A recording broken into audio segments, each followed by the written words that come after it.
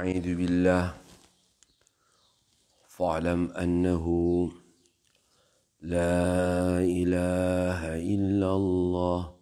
لا إله إلا الله. لا إله إلا الله. لا إله إلا الله. لا إله إلا الله. لا إله إلا الله. لا إله إلا الله. لا إله إلا الله. لا إله إلا الله. لا إله إلا الله. لا إله إلا الله. لا إله إلا الله. لا إله إلا الله. لا إله إلا الله. لا إله إلا الله. لا إله إلا الله.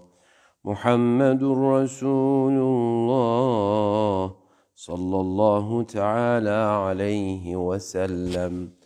إلى شرف النبي وآله وأصحابه ومشايخنا الفاتحة. أعوذ بالله من الشيطان الرجيم. إن الله وملائكته يصلون على النبي. يا أيها الذين آمنوا صلوا عليه صلوا عليه وسلموا تسليما. اللهم صل على سيدنا محمد وعلى آل سيدنا محمد. بعدد كل داء ودواء وبارك وسلم عليه وعليهم كثيرا. اللهم صل على سيدنا محمد وعلى آل سيدنا محمد. بعدد كل داء ودواء وبارك وسلم عليه وعليهم كثيرا. اللهم صل على سيدنا محمد وعلى آل سيدنا محمد. بعدد كل داء ودواء وبارك وسلم عليه وعليهم كثيرا كثيرا. وصل وسلم وبارك على جميع الأنبياء والمرسلين. وآل كل أجمعين والحمد لله رب العالمين. على أعظم العالمين سيدنا محمد صلوات. على إشرف العالمين سيدنا محمد صلوات.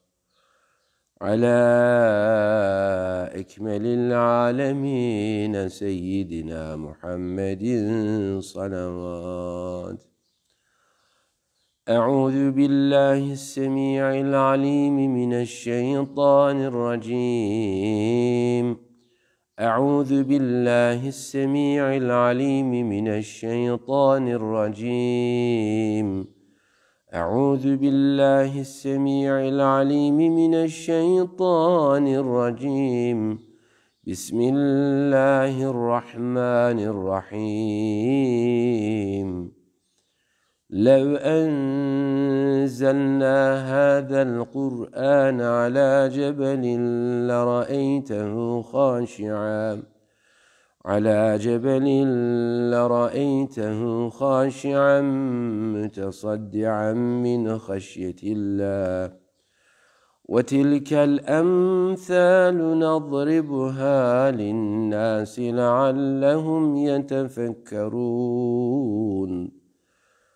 هو الله الذي لا إله إلا هو. عالم الغيب والشهادة هو الرحمن الرحيم. هو الله الذي لا إله إلا هو الملك القدوس السلام المؤمن المهيمن العزيز الجبار المتكبر. سبحان الله عما يشركون هو الله الخالق البارئ المصور له الأسماء الحسنى يسبح له ما في السماوات والأرض وهو العزيز الحكيم صدق الله العظيم سبحان ربك رب العزة عما يصفون وسلام على المرسلين والحمد لله رب العالمين. الحمد لله رب العالمين. والصلاة والسلام على رسولنا محمد وعلى آله وأصحابه أجمعين. Günümüz mübarek olsun. Hayırlı sabahlar diliyorum kardeşlerim. Ee, bugün tam 05.30'da yayını başlattık elhamdülillah. Yani kaçırmamaya çalışacağız. 5.30 gibi yayını başlatacağız. Zamanla bu 5.20 e, olabilir. Tabii güneş doğması erkene geldikçe bu saatte erkene gelebilir. Tabii biz İstanbul için bu planı yaptık. Yani İstanbul'da e, güneş 38'de doğuyordu. E, dolayısıyla biz namaz kılıyoruz. E, yarım saat kala e, güneşe, biz camide e, güneşe yarım saat kala namaz kılıyoruz. E, ondan sonra e, bu derse başlıyoruz kardeşlerim. E, şunu da söyleyeyim, yani sabah namazı bugün yine bir mesaj geldi. E, imsaktan sonra kılınır mı diyor bir kardeşimiz.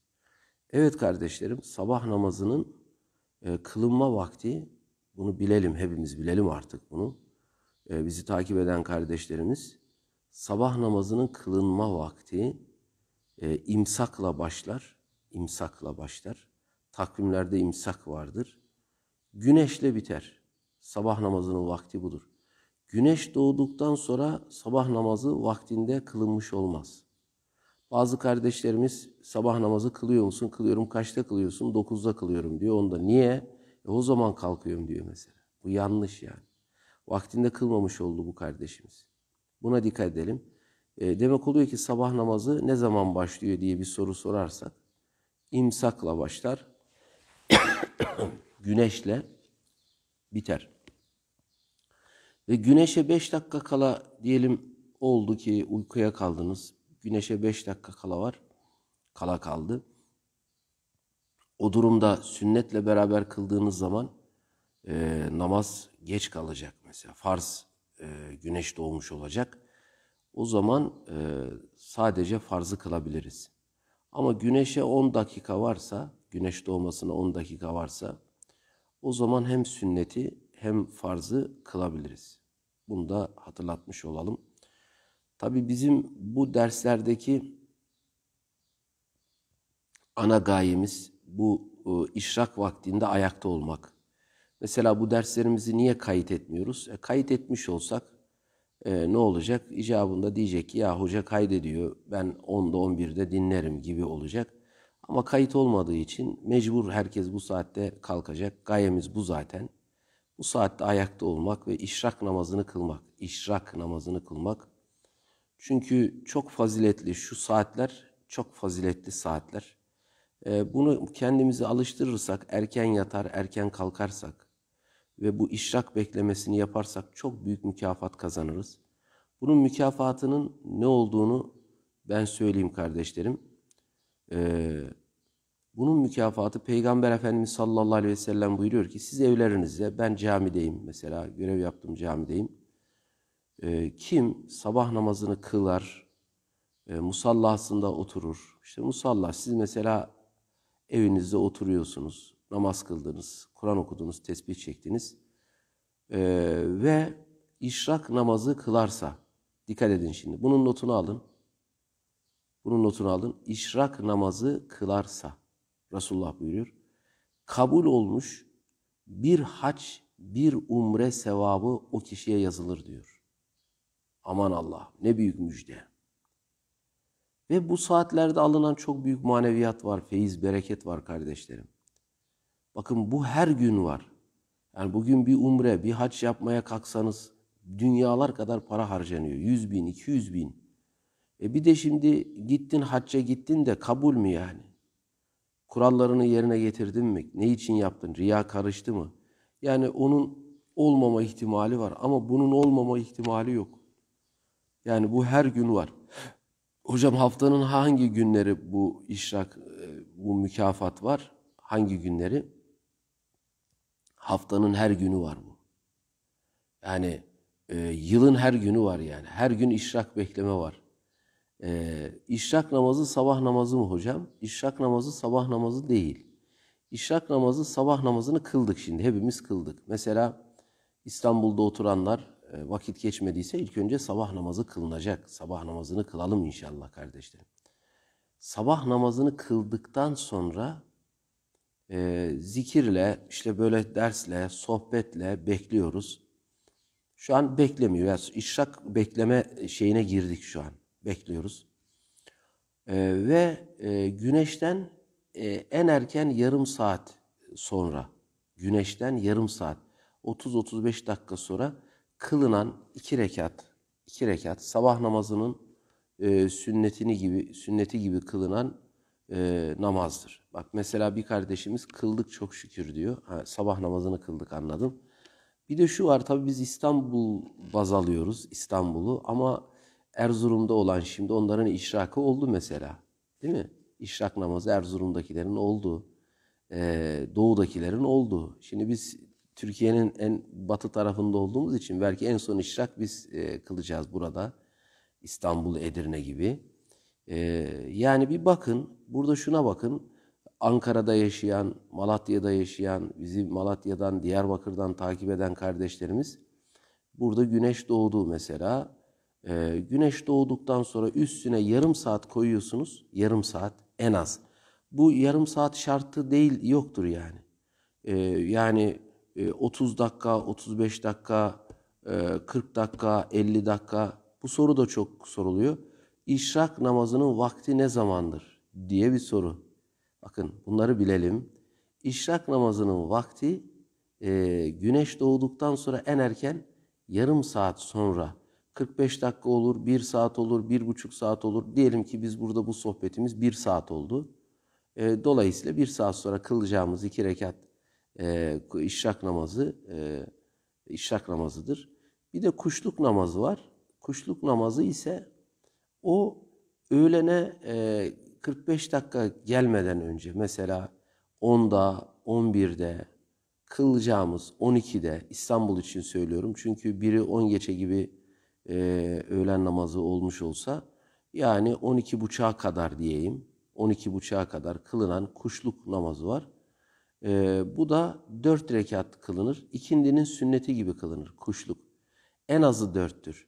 Dört, dört, dört, on iki kılmak en güzeldir ve ben buradaki kardeşlerimin buna çok hevesli olduğunu inanıyorum. Bu, bu namazları e, kıldıklarına ben inanıyorum.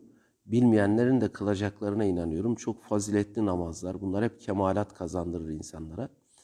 Şu soru var. Hocam kaza namazım var. E, kaza namazım var. Ben işrak kılabilir miyim? Evet kılabilirsin.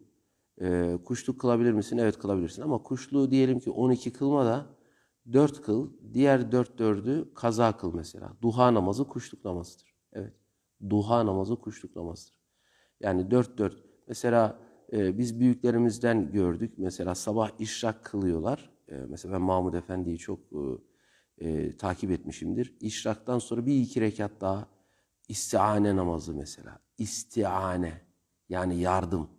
Mevla'dan bir konuda yardım istiyorsun. Onun namazını kılıyorsun. Mesela bu da olabilir. Ya da iki rekatta e, Allah için namaz kılıp sevabını anne babana gönderirsin. Bu da yine işrak, işrakla beraber 2-2-2-6 olarak kılınabilir. Ya biz bunları gördük yani büyüklerden gördük bunları kardeşlerim. İnşallah biz de bunları yapalım kardeşlerim. Evet. Yerinden kalkabilir mi? Evet kalkabilir. Yani çünkü genelde bizi şimdi takip eden tüm kardeşlerimiz evlerinde e, ne oldu? E, ne bileyim abdese kalkabilir vesaire. Çocuğu ağlıyor onun için kalkabilir. Eşi işe gidiyor uğurlayabilir. Bunlar işrak namazını kılmaya mani değildir kardeşlerim. Evvabin namazı ise akşam yatsı arası kılınıyor o. Akşamdan sonra 2-2-2 e, kılınabilen bir namaz. 6 olarak kılınabilen bir namazdır. Ama en azı 2'dir. Bir de gece teheccüd namazı var. O da teheccüd namazının vakti de e, imsaka kadar kılınması lazım. İmsak vaktine kadar gece kılınan namazın adı teheccüddür. Yine bunu sizlerle paylaşmış olduk. Zaman zaman paylaşırız. İşte mevzu neydi? Bu saatleri böyle ilimle beraber geçirebilmek. Ee, elhamdülillah bu ikinci günümüz. Rabbim tamamını erdirsin. Tabi biz e, ilanı geçen yaptık ama ara ara her gün 05.30'da dersimiz var ilanını da ara ara hikayede paylaşmamız lazım ki bilmeyen kardeşlerimiz de bilsin ya da siz de bu konuda yardımcı olun. Bu paylaştığımız ilanı sizler de paylaşın kendi hikayelerinizde. E, mesela bir vesile olmuş oluruz yani. Bu güzelliklere vesile olmuş oluruz.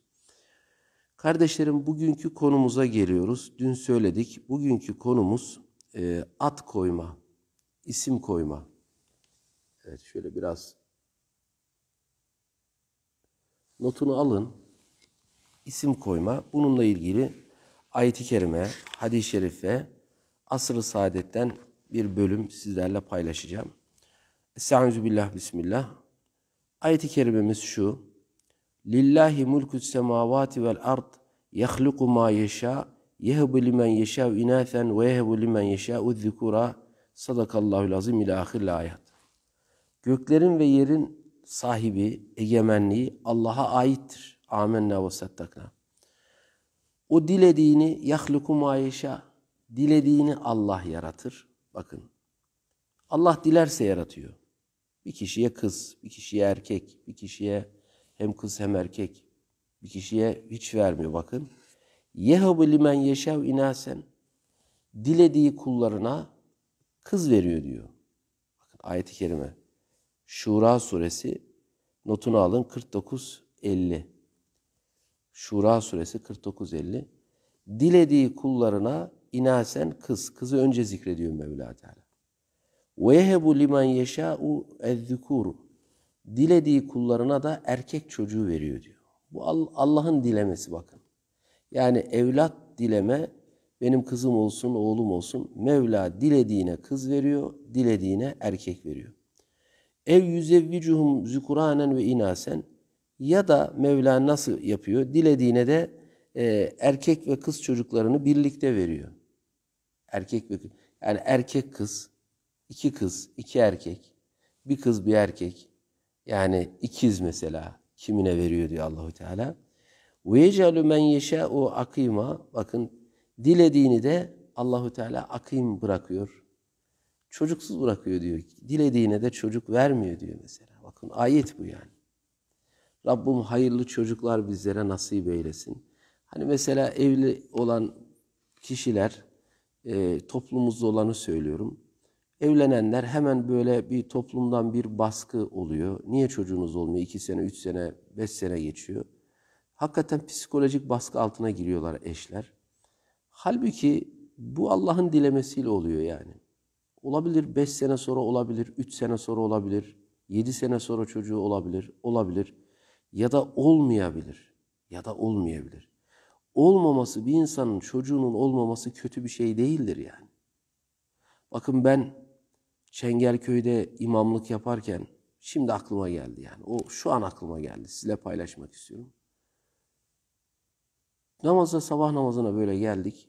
Bir tane adam namazdan sonra çıkmadı böyle köşede çok şiddetli bir şekilde ağlıyor. Abi dedim ne oldu bir derdi mi var? Ya yani yıl 90'lı yıllar. Ya hocam sorma gitsin dedi falan. Ama bir şey yapmam lazım dedim yani. Bir, bir sıkıntın var ki ağlıyorsun. Elimden gelen bir şey varsa e, ben bileyim, yardımcı olayım dedim sana. Yok hocam dedi. Bir şey yok falan. Neyse zorladım. Adam dedi ki hocam oğlum beni dövdü dedi yani. Hiç unutamıyorum yani. Ne diyeceğimi de şaşırdım. Oğlum beni dövdü dedi yani. Evlat babayı dövüyor yani. Anneyi dövüyor. Şu an bunları çok duyuyoruz. Ne olacak evlat yani? Allah hayırlısını versin. Bunu demek lazım. Evet istiyor, gönül istiyor bir meyvamız olsun ama öyle evlatlar var ki ben şunu duydum. Annesi diyor ey devlet neredesin? Alın bunu kurtulayım ben. Alın içeri atın bunu. Bunu salmayın. Bunu bırakmayın. Bunu bunu görmeyeyim. Bunu anne diyor yani. Bir anne der mi yani? Niye bıkmış kadın yani? Ha evlat işte buyur. Annesini döyen, annesini öldüren, babasını öldüren evlat.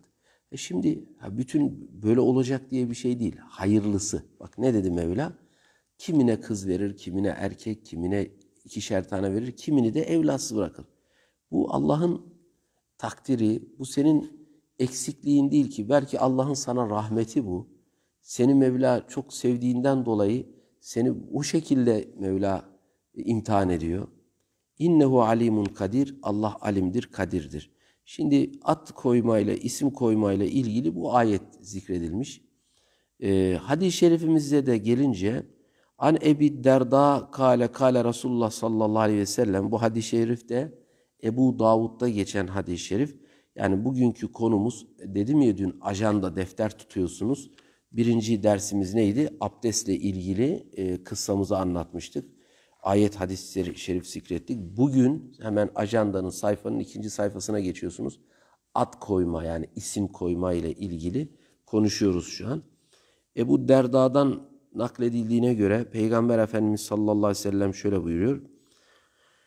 İnneküm tud'avne yevmel kıyameti bi esmaikum ve esmai abaikum fe ahsinu esmaikum. Sadaka Resulullah. Ben Arapçasında okuyorum ki Resulullah'ın dilinden böyle çıkmış. Hani bereket hasıl olur. Resulullah'ın ağız, mübarek ağzından çıkan kelimeleri de duymuş olalım diye. Manası şu. Muhakkak ki siz kıyamet günü isimlerinizle ve babalarınızın isimleriyle çağrılacaksınız. Kıyamet gününde bizim ismimizle Mevla çağıracak. Babamızın ismi diyelim işte Battaloğlu Ali.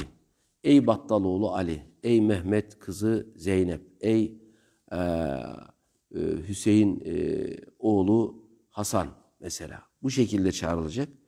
Efendimiz buyuruyor ki aleyhissalatü vesselam o halde çocuklarınıza güzel isimler koyun diyor. Bakın fe ahsinu esmaeküm.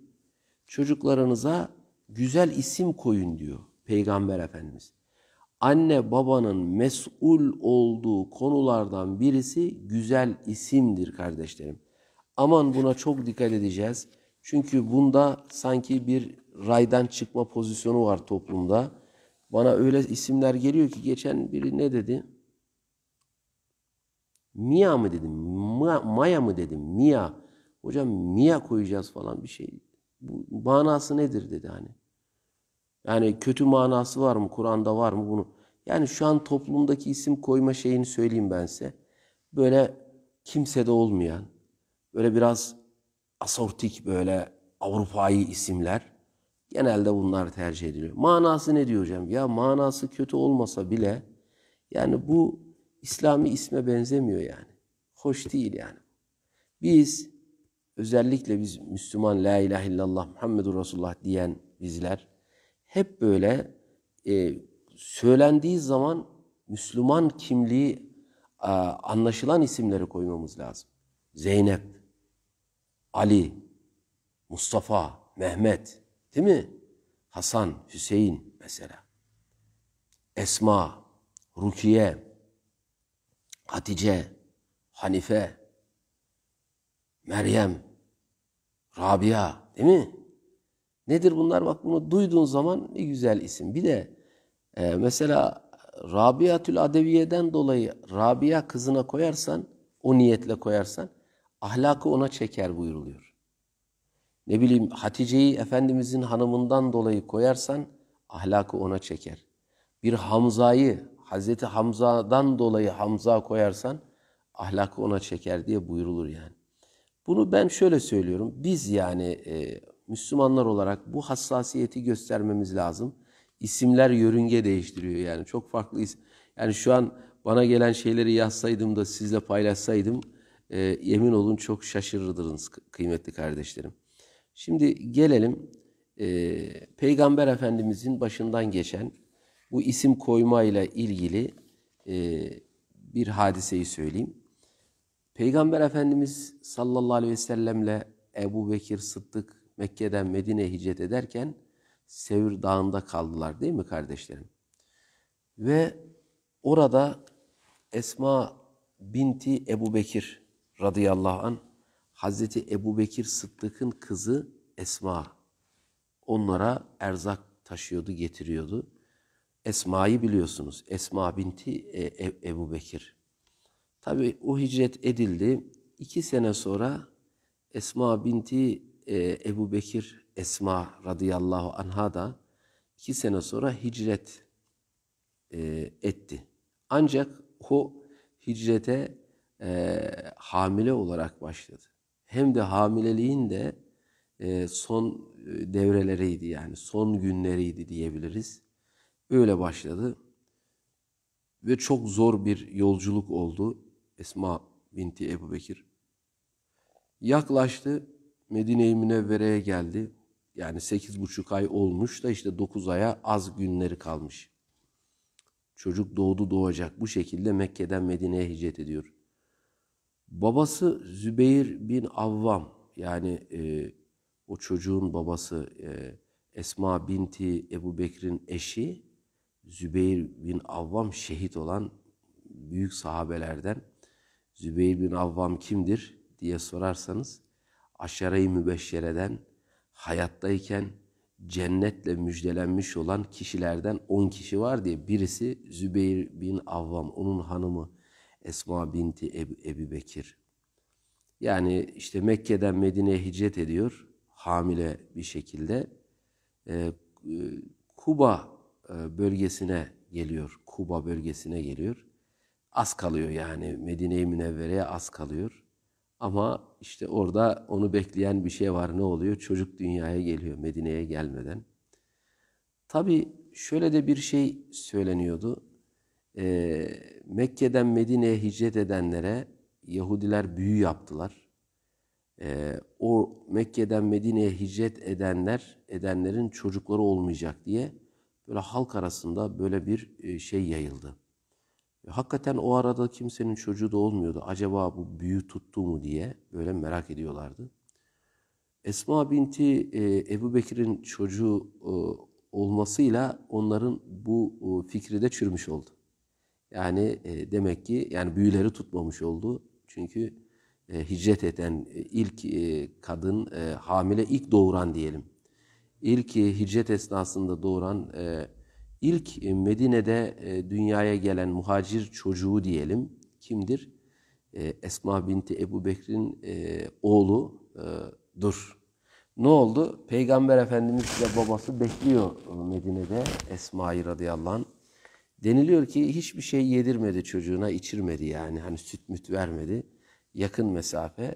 Çocuk dünyaya gelir gelmez çocuğu sardılar bebeği getirdiler Resulullah'ın e, eline verdiler. Aman Allah, aman Allah. Kucağına koydular Efendimizin. Efendimiz çok mutlu oldu, çok sevindi. Babasını da biliyor. Çocuk da dünyaya geldi. Efendimiz baktı ona, isim verdi ona. Ne ismi verdi biliyor musunuz? Abdullah. Bak isme bakın Abdullah. Resulullah'ın koyduğu isim Abdullah. Allah'ın kulu demek. Ve o ara bir hurma aldı. Hurma daha hiç ağzına annesi süt vermemiş. hurma aldı. Efendimiz o hurmayı ağzında çiğnedi ve onun dudaklarına sürdü. Ee, Abdullah'ın. Abdullah e, bin e, Zübeyir oluyor. Abdullah bin Zübeyir. Evet. Bu kim oluyor bu Abdullah bin Zübeyir? Ee, buradan okuyalım inşallah. Bu son derece kıymetli bir bebekti. Dedesi e, Hazreti Ebu Bekir, babası ise cennetle müjdelenen e, on sahabeden bir Zübeyir bin Avvam'dır. Annesi onu Peygamber Efendimizin kollarına bıraktığında daha ne bir adı ne de dünya nimetleriyle tanışıklığı vardı diyor. Yani isim de konulmamış, hiç ağzına bir şey de sürmemiş. Evet, Allah Resulü Aleyhisselatü Vesselam bebeği şefkatle kucakladı. E, bu küçük töreni izleyenlerden bir hurma istedi Efendimiz ve hurmayı bir süre yumuşattıktan sonra bebeğin damağını bu hurma ile ovdu diyor. Sürdü yani dudaklarına sürdü. Sonra dua etti Peygamberimiz. Aman Allah'ım. Bebeğin hayatı için hayır ve bereket diledi. İşte sünnet bu. İsim güzel konacak. O isim konulduktan sonra o bebek için hayır duada Allah seni hayırlı eylesin. Allah seni bereketli eylesin. Allah seni korusun. Alim olasın. Allah'ı bilen olasın. Bak o anda çok önemli bu. Böyle bir duada bulundu ve adı kondu Abdullah. O kim oldu şimdi Abdullah? Geleceğin halifesi e, cesur ve abid kumandan Abdullah bin Zübeyir olacaktı diyor. İşte bakın isim ne kadar önemli, dua ne kadar önemli, sünnet ne kadar önemli kardeşlerim. Şimdi hissemize düşenler bölümüne bakıyoruz. Çocuk Allah'ın kullarına bir lütfu olmakla birlikte gerek varlığı gerekse yokluğu ile de bir imtihan vesilesidir. Hani okuduk ya ayeti kerimeyi. Evet, e, Allahu Teala'nın ikramı çocuk vermesi büyük bir nimettir. Ama varlığı da imtihandır, yokluğu da imtihandır. Allah tekrar edelim bu duayı cümlemize. Hayırlı evlatlar nasip eylesin. Kendisine ömür boyu onurla taşıyacağı güzel bir isim verilmesi çocuğun anne babası üzerinde hakkıdır diyor. Evet bugünkü dersimizde ana konumuz bu olsun. Yani anne ve baba olarak bizim sorumluluğumuz çocuklarımıza güzel isim vermek.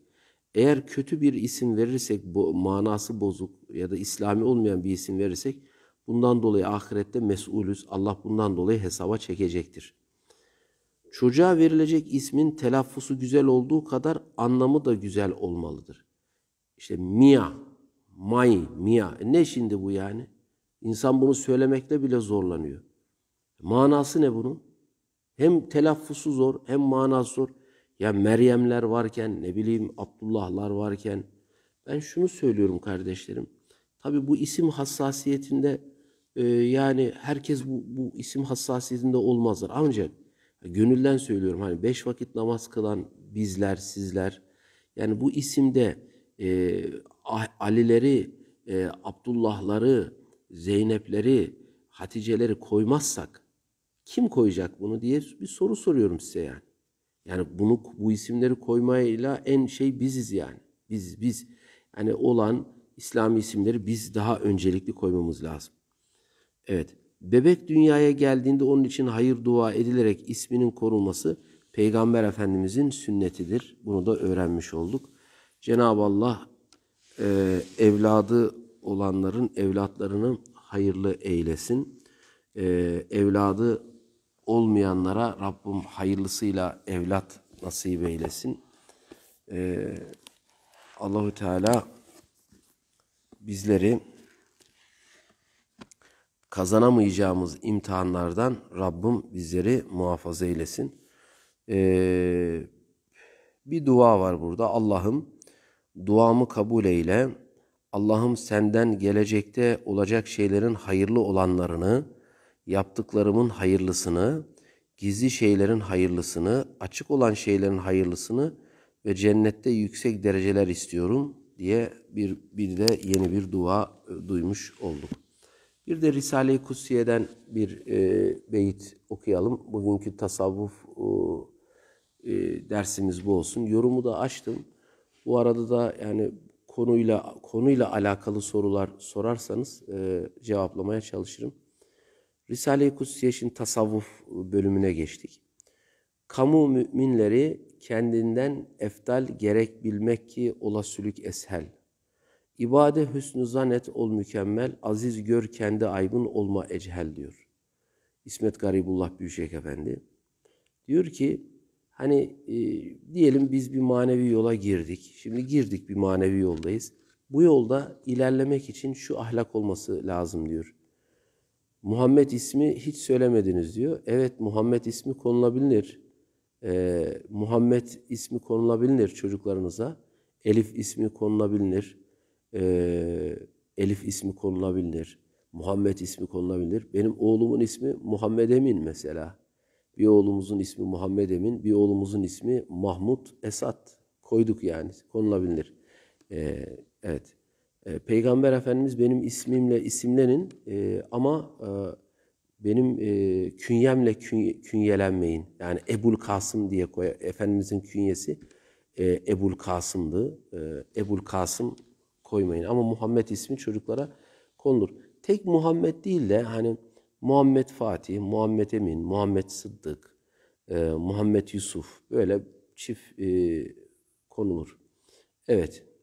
Şimdi Risale-i Kutsiye'yi okuyalım. Kamu müminleri kendinden eftal gerek bilmek ki olasılık eser. Şu an soru yazmayın da yani oraya odaklanamıyorum. Siz bu bana odaklanın.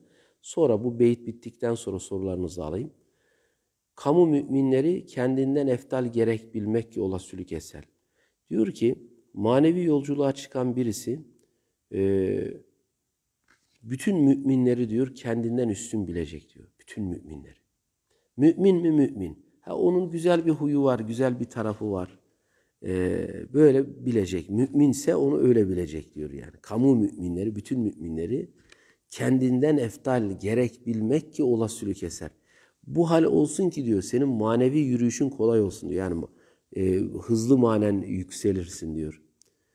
E, kamu müminleri kendinden eftal gerek bilmek ki ola sürük eser. İbade hüsnü zanet ol mükemmel.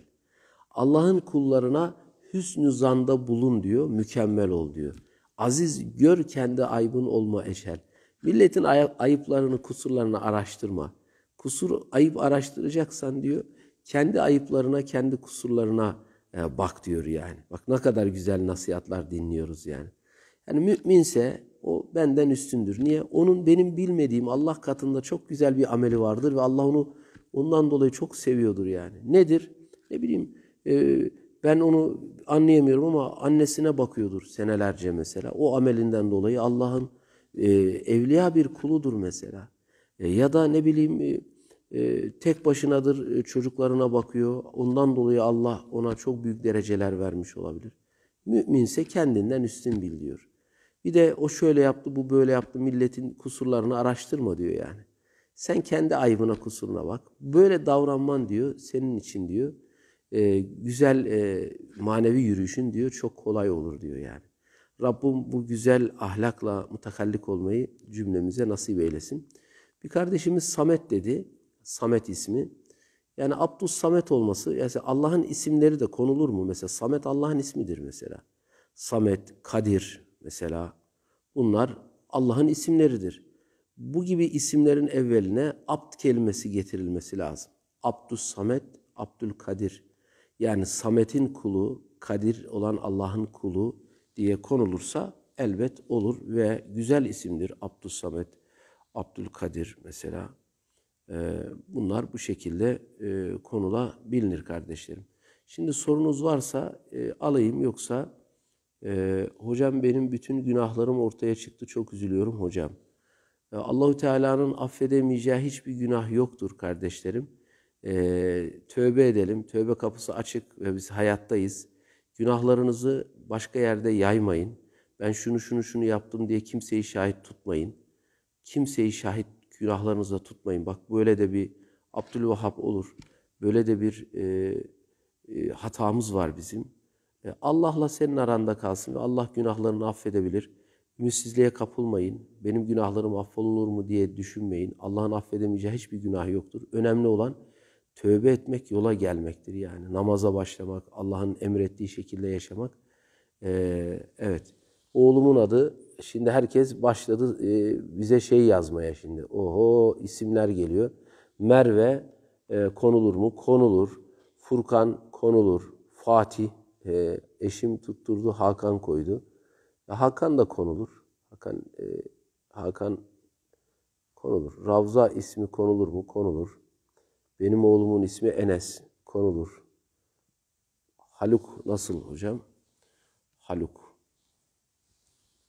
Abdülhalik olsaydı hani Halik yaratıcı, Haluk yani yaratıcı anlamı e, oluyor ama bakmak lazım. Hani Abdülhalik yaratıcının kulu olurdu. Evet şimdi burada bitirelim isterseniz kardeşlerim.